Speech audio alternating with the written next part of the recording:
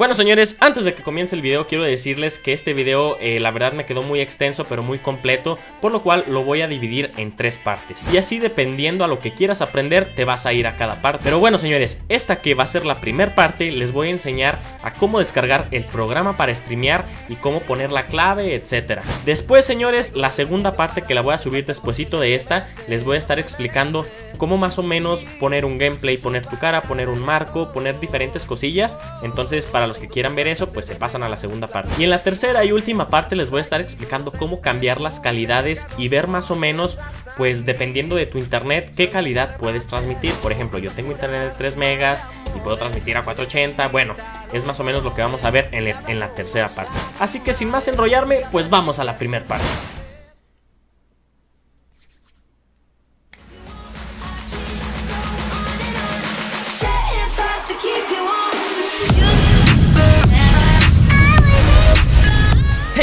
Bueno, caliteros, yo soy ese y sean todos ustedes bienvenidos a un nuevo tutorial aquí en el canal.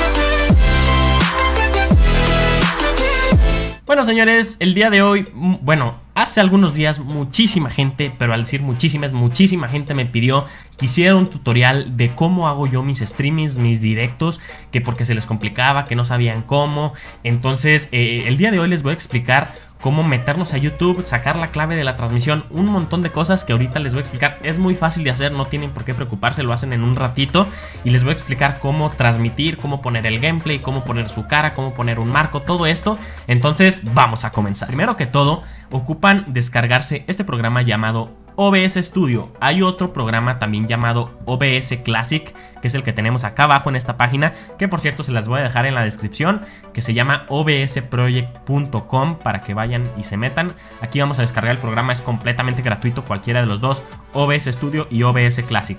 OBS Classic es el más antiguo para, no sé, computadoras que tengan un poco menos de recursos, pero yo les recomiendo que si van a hacer streamings, váyanse por OBS Studio, lo calan, a ver si les va bien su compu. Si no les va bien, pues se regresan a OBS Classic. Bueno, señores, después de esto vamos a ir a descargar OBS Classic. Típica descarga, descargar, instalar, eh, siguiente, siguiente, siguiente, instalar. Ok, es muy fácil. ¿Qué persona no sabe hacer esto? Es muy sencillo.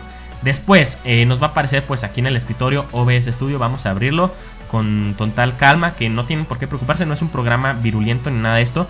Si se fijan, a mí ya me creó la primera escena. Bueno, esta escena creo que yo ya la tenía, así que la voy a eliminar para que vean que es como todo de un inicio. Sí, como les digo, aquí ya tenemos eh, lo que es el programa en sí. Eh, yo ya tengo esta escena creada, no le vamos a hacer caso, ustedes van a estar vacíos, o sea, no van a tener nada en escenas ni fuente, pero esto se los voy a explicar después.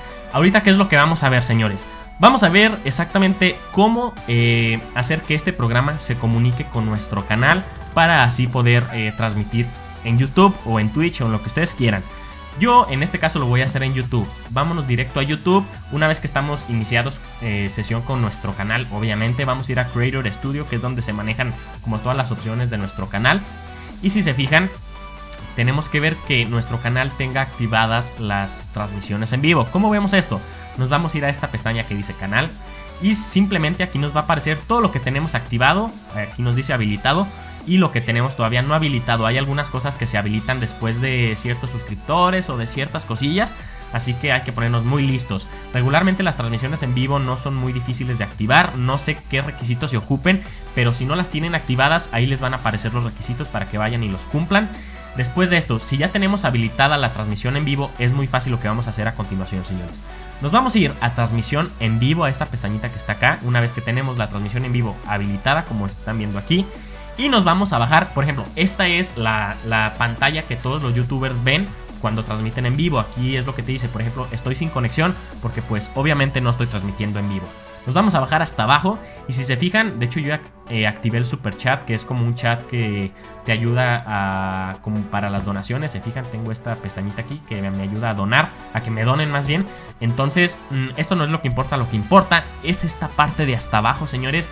Esta parte es yo creo lo más importante para comunicar OBS Studio con nuestro canal de YouTube. Es esta parte de aquí abajito. ¿Qué es lo que vamos a hacer? Aquí si se fijan dice revelar esta es la clave más importante. Nosotros vamos a darle revelar. Yo no lo voy a hacer porque si la revelo, cualquier persona que esté en mi canal, eh, o sea, cualquier persona que tenga mi clave, puede transmitir un directo en mi canal, así que no la voy a revelar. ¿Qué es lo que van a hacer ustedes? Le van a dar a revelar, van a copiarla y la van a pegar en el programa. Y me van a preguntar dónde, dónde se, se pega en el programa. Ok, nos vamos a configuración y nos vamos directamente salida. Bueno, es en emisión, lo siento, en emisión. Ok, aquí en emisión, si se fijan, está, está puesto en Twitch. Nosotros vamos a ponerle YouTube Gaming. YouTube slash YouTube Gaming es lo que vamos a poner. Una vez que ya lo tenemos en slash YouTube Gaming, vamos a aquí también que diga Primary YouTube Ingest Server. Y una vez que ya lo tenemos así, vamos a pegar la clave de la transmisión justo en este cuadrito. Por ejemplo, yo no la tengo en estos momentos, así que vamos a pegarla. Ok, ya que la tenemos copiada, simplemente le damos a pegar y se nos pega ya la clave. Es muy sencillo, no tiene nada del otro mundo, cualquier persona lo podría hacer. Vamos a darle a aplicar y aceptar. Muy bien señores, OBS ya está comunicado con nuestro canal de YouTube. Si nosotros damos a iniciar transmisión, ya se va a empezar a ver. Pero señores, bueno, esto yo es, son cosillas que ya le había puesto hace mucho, pero ignórenlas. ¿Qué es lo que van a hacer? Ustedes van a estar totalmente vacíos, van a tener esta pantalla negra.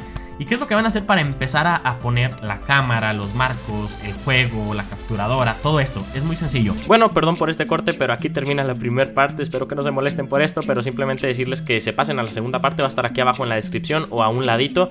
Y pues nada, suscríbanse al canal y nos vemos en la segunda parte.